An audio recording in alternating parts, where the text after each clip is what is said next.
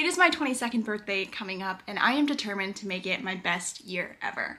Not only that, but 22 for me is going to be marked with a lot of change including graduating from university, being out of school for the first time in my life, and doing lots of different fun things like traveling and hanging out with my friends. So to kind of bring in the 22nd year of my life eh, with good vibes, with positive intentions, I've decided I wanted to make a vision board to kind of level up my life and figure out what I want to focus on this year. With that, I'm also going to spend some time actually leveling out my life after I finish my vision board, so let's get started.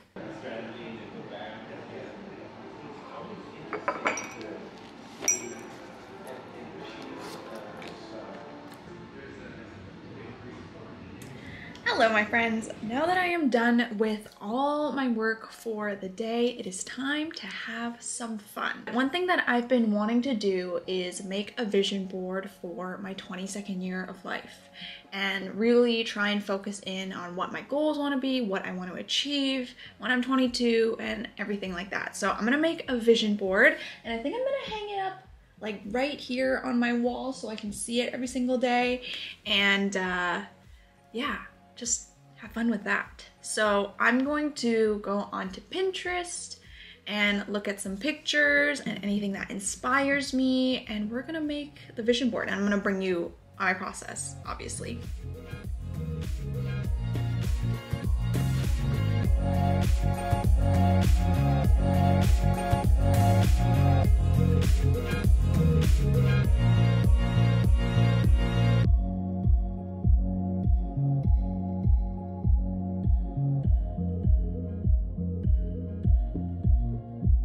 Back in the spot after fixing my freaking paper thingy on my printer like 10 times.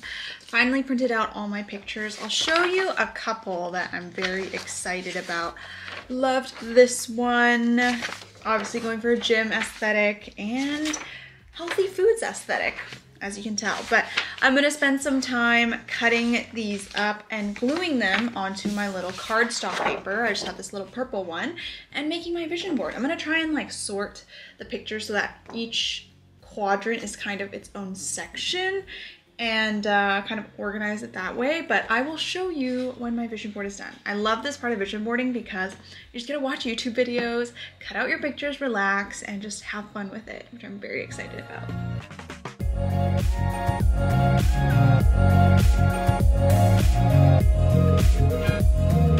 Alright, just finished up my vision board and I hung it up on my wall, which I think it looks so cute, but I wanted to go over what I put on my vision board and also the goals that I have for when I'm 22.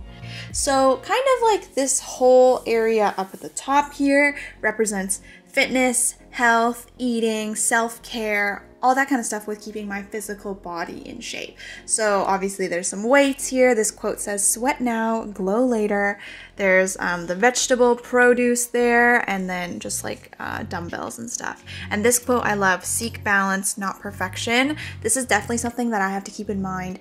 This side here is the travel section. So I'm gonna be doing a lot of traveling. Um, after I graduate university, which I'm very excited about. So I just have like this girl with her suitcase. This is a picture of Paris that I found on Pinterest. And then this girl's reading with um, the plane window in the background, which I really, really liked this. And then this side is kind of like a mesh of other stuff, I guess. First, I photoshopped my channel name with 5,000 subscribers underneath because that's going to be my goal for this upcoming year.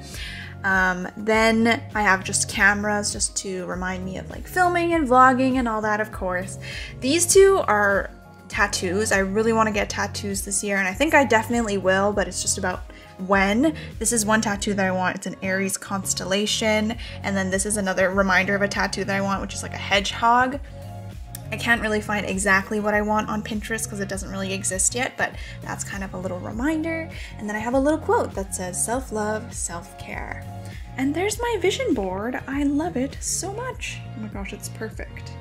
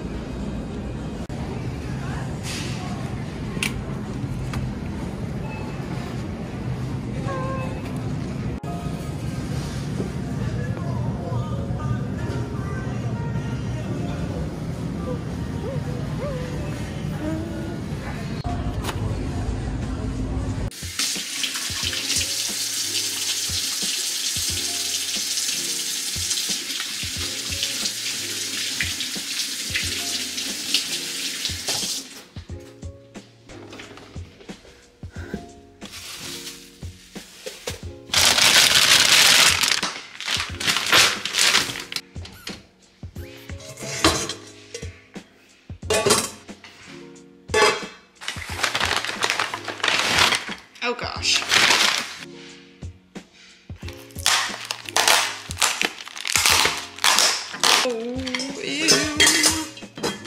Ew, ew, ew, ew, ew. Ew, there's chicken juice on my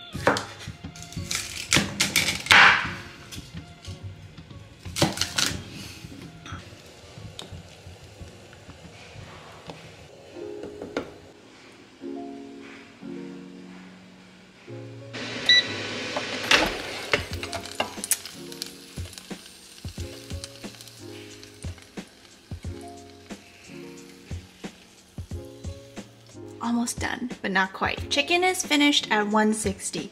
Just wanted to check to make sure I don't overcook it because that's what I've been doing recently, but looks like it can still go for about five to seven more minutes probably because we're still 20 degrees under.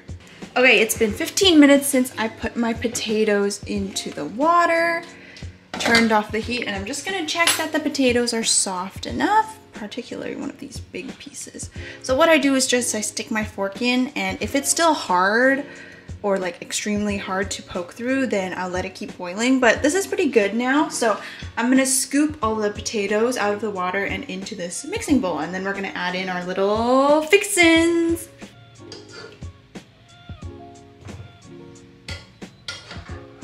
Okay, all my potatoes are into my bowl as you can tell, and I'm gonna mash it all first just to see the consistency that we're working with, and then I'm gonna decide, based on that consistency, how much of the butter and milk and cream cheese I should add. Because this, honestly, I play by ear. I have no measurements to give you. I just kind of add little by little and see how it is, and then try not to make it too runny. And same with the seasonings. I just add little by little and then taste it. If it's not enough, then I'll add a bit more. And that's the beautiful thing about cooking. Perfect.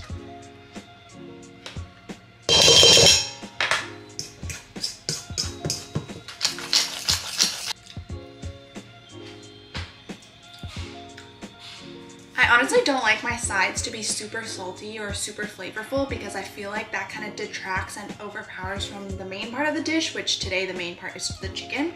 So I'm gonna leave it, it's a little not super salty, but still flavorful. And I really like that. So I'm gonna leave it as it is. And I'm gonna take the chicken out and then finish my asparagus. And then we'll be done and ready to eat. Okay, so I'm gonna be blanching my asparagus, which is basically just like boiling it in water for a little bit and then just taking it out after. So I rinsed and washed my asparagus. It's ready to go. Added a little bit more water into the mashed potato water that I used earlier. Once that boils, I'm gonna put some asparagus in and then just take it out. And then we'll be done and I'm ready to eat. I'm so hungry right now.